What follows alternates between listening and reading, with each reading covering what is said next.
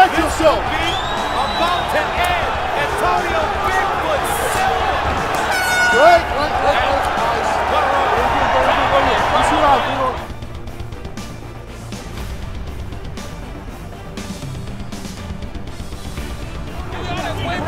They're stopping the fight. Hey, the fight's over. The fight's over. And it's over. They it. They this fight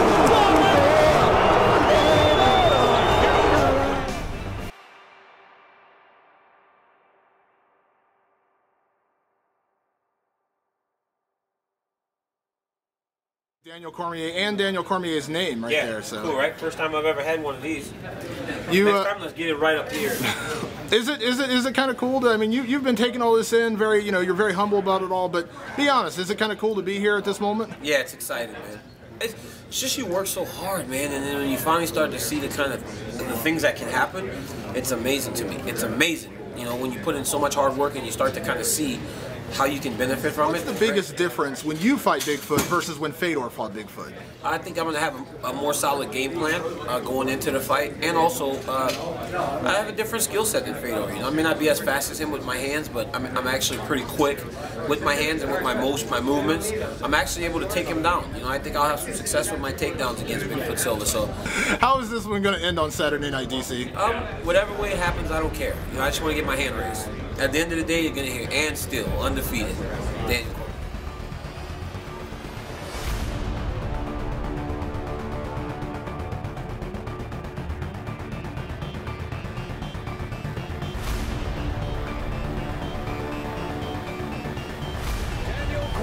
has experienced terrific highs professionally, devastating lows personally. Bigfoot Silva.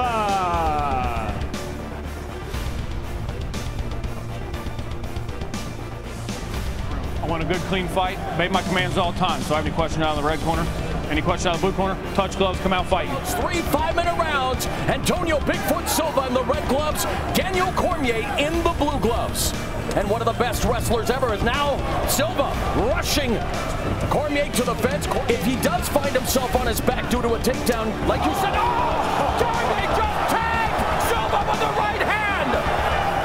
That's it's exactly what Mike Kyle hit him with when they fought. And he was saying, as I mentioned, the De La Riva angle, knowing for those sweeps, but his last victory against It's the quickness, man. It's the Oh, and quickness. again, the left hand. Uppercut from Silva, but he still is not fully recovered. And tagging him now at will, and Silva going for the takedown. Sprawl by Cormier. Doesn't really matter if he goes to his back. He can work the submission hold. Hey, what a sweep by Cormier. Hey, Cormier's being smart, man. He's working the clock. I believe I got out of the way of those. Again, looking to catch the kick. Minute 11 left in the first. The jab from Cormier. Uppercut.